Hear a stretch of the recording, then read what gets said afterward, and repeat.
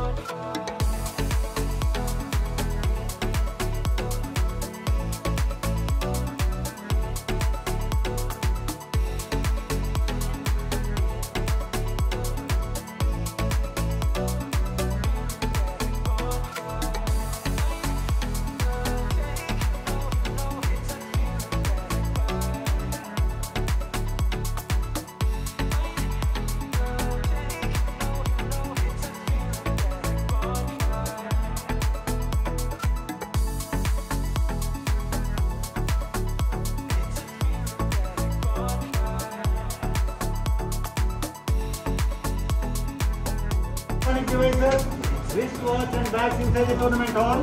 If you have kindly deposit in the baggage counter.